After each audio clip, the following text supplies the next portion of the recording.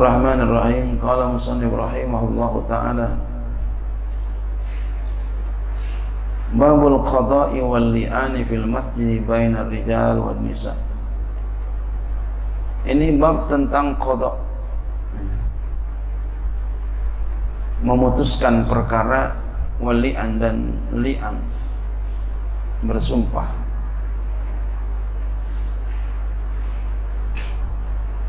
Fil masjid di masjid bainar rijal wan nisa di antara laki-laki dan perempuan.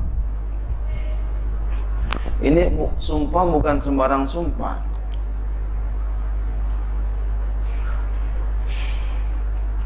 Ada seorang suami menuduh istrinya telah ya menuduh istrinya berbuat zina. Seorang suami menuduh istrinya berbuat zina. Maka si suami ketika menuduh istrinya berbuat zina, si suami kena hukum qazaf. Nanti dia akan didera. Dicambuk. Kenapa? Karena dia telah menuduh istrinya berselingkuh.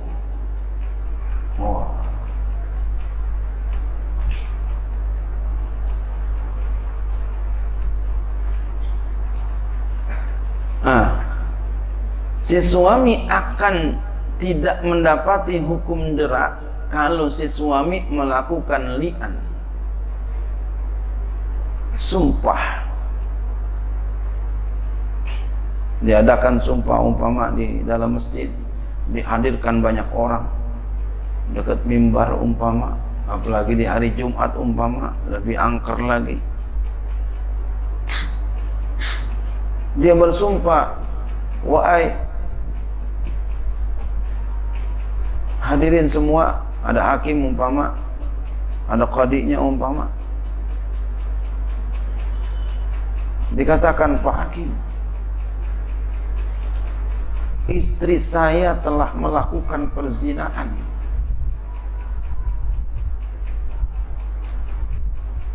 istri saya telah melakukan perzinahan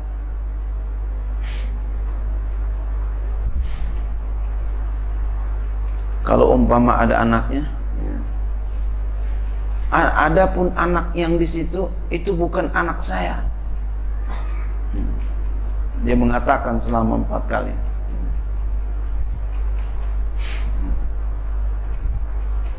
Ya, mengatakan selama tiga kali. Nanti yang keempat, andai kata saya berbohong maka saya akan dapat laknat. Ditambahin begitu, Nauzubillah, serem banget itu ya. Nah, ketika dia sudah melakukan li'an seperti itu, maka si suami enggak dapat hukum qazaf. Gantian, si istri akan dirajam sampai mati. Nah, kemudian si istri membalikin lagi akan tuduhan yang dilontarkan oleh suami kepadanya.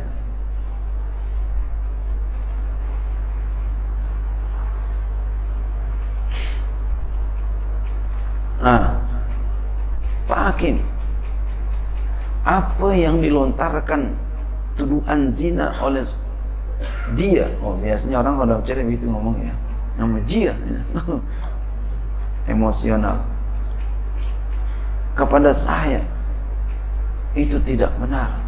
Saya tidak melakukan perzinahan. Sampai tiga kali, keempat kalau dia sampai ya, kalau aku bohong maka dia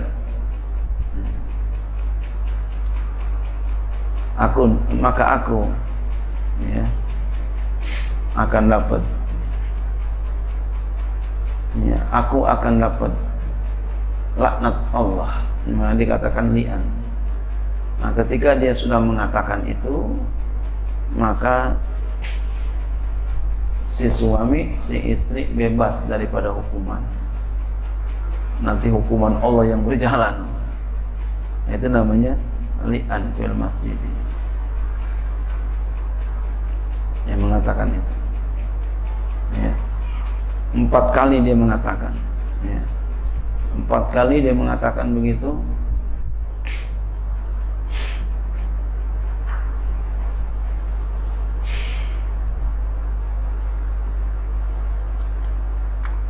Oleh karenanya jangan sembarangan kita menuduh orang berbuat zina. Kenapa? Karena orang akan dihukum berzina, hukuman zina sampai ada empat saksi. Kalau empat saksi nggak ada, maka tidak diterima. Walaupun dia ngelihat tiga saksi, orang akan dihukum dengan dua. Yang pertama al-iqrar, yang kedua as-syahadah. Ya, yang pertama al, yang pertama adalah uh, al-iqrar dengan pengakuan. Yang kedua dengan al-bayyinah dengan penyaksian. Ada saksi. Jarang terjadi yang terjadi pakai saksi hukuman zina. Banyak yang terjadi adalah dengan ikrar, pengakuan. Kenapa? Karena sulit saksinya mesti empat orang. Kalau tiga orang benar-benar Pak Hakim saya ngelihat. Berapa kamu? Tiga orang nggak jadi. Ada empat orang. Benar Pak Hakim, saya ngelihat, kami ngelihat. Kamu berapa orang? Empat orang. Kok bisa kamu tahu? Ah, nyingkir-nyingkirnya. Dia ngintipin, saya ngintipin setiap malam. Hmm. Berarti orang yang tukang ngintip adalah orang fasik orang fasik tidak bisa diterima kesaksiannya nggak jadi tuh saking apanya di sini saking menjaganya yang namanya masalah tuduh menuduh berzinahan jadi nggak boleh kita sembarangan menuduh berzina dan saking menjaga jangan sampai terjadi hukuman zina. Kenapa? Berat. Berat. Berat. Sangat berat. Dah kalau bisa tobat aja sendiri. Dah tobat aja sendiri diam-diam. Dah tobat senangis-nangisnya. Jangan kasih tahu orang udah tobat senangis-nangisnya jangan lakukan lagi.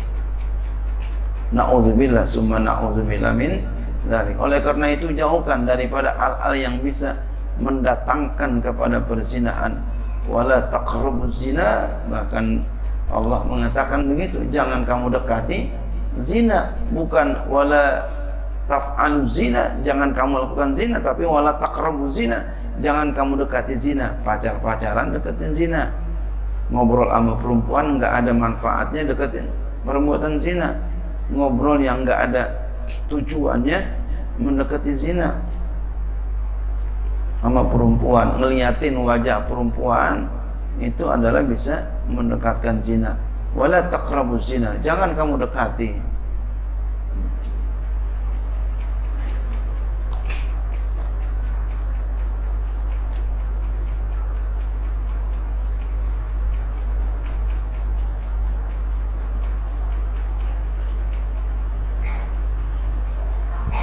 Mila qala haddatsana Yahya qala akhbarana Abdul Razzaq qala akhbarana Ibnu Jurayj qala akhbarana akhbarani Ibnu Syihab bin ansa bin Sa'id Sa'din anna rajulan qala ya Rasulullah ara'aita rajulan wajada ma'amra'ati wa rajulan ayaqturu fatala'ana fil masjid wa ana syahidun.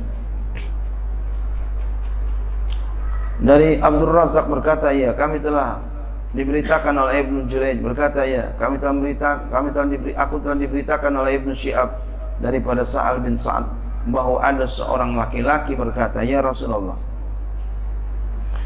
Ara'aita rajulan? Apa pendapatmu? Ada ya, seorang laki-laki wajada ma'amrati bersama perempuannya. Rajulan ada seorang laki-laki ayak tuluhu apakah aku bunuh dia? Wah. Dia menuduh ya. Istrinya berbuat zina apa dibunuh aja nih orang nih? Jadi menuduh istrinya telah berbuat zina kepada laki laki apa aku bunuh aja nih ya Rasulullah? Fatala anna fil masjid. Lalu keduanya berlian di masjid. Wa ana syahidun dan aku menyaksikan itu. Keduanya berlian. Kayak seperti tadi yang saya katakan.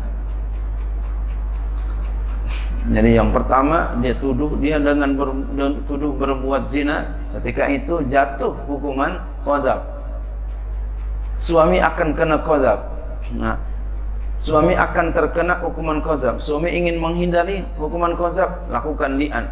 Dia lakukan li'an, maka istri yang akan dihukum. Berzinaan, dirajam sampai mati.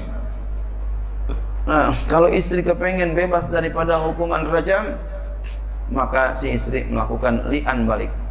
Nah, ketika itu dia terbebas dua-duanya daripada hukuman di dunia. Nanti ditunggu akan hukuman Allah. Pasti ada yang benar, ada yang salah kan serem tuh di masjid melakukan itu. Lakukannya di masjid. Nah, oleh karenanya kita jaga daripada perbuatan-perbuatan yang bisa mendatangkan perzinahan. Jangan suka ngobrol sama perempuan. Ya jangan suka ngobrol sama perempuan yang gak ada manfaatnya. Perempuan yang gak ada manfaatnya. Bukan begitu. Maksudnya ngobrol yang gak ada manfaatnya manfaatnya. Kecuali memang ada tujuan. Ya sesuatu yang mesti diomong nggak boleh enggak lain hal. Apa aja yang bisa mendekati perzinaan dijauhin. Dan ini juga menandakan bahwasannya betapa dahsyatnya yang namanya hukuman zina. Urusannya bisa ya bahaya dan bisa mati